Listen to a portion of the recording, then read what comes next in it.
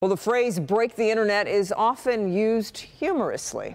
But with so many people at home using streaming services and the like, there is actual concern about overloading the system. Larry Spruill explains why you may have trouble connecting and getting the speeds you're used to. So with millions and millions of people at home this week, a lot of people are working from home. A lot of students are now doing their classwork online and they're using this thing, their laptop or their computer. So with a lot of people doing this at the same time, that can cause some backups. So the question is now, what can you do about it?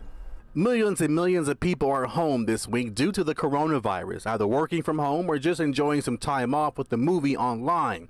More and more people are using their laptops or computers, and more people, more data being used. There's uh, absolutely a thing as internet overload. And Jeff Inglesby, the Chief Information Security Officer with Flexible Plan Investments, tells me that's exactly what's happening. Uh, the internet can be thought of as like uh, water pipes. And the, the bigger the pipe, the more information that can go through it.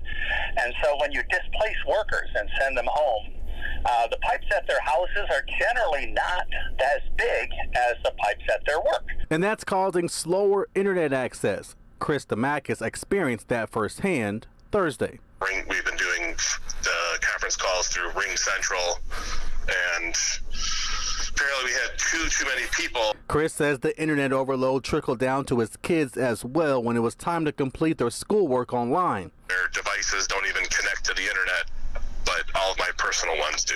But the good news is there is help. Try not to do many things at once. So if you were streaming a Netflix video and doing your work email and downloading some documents from the internet. Larry Spruill, Local 4.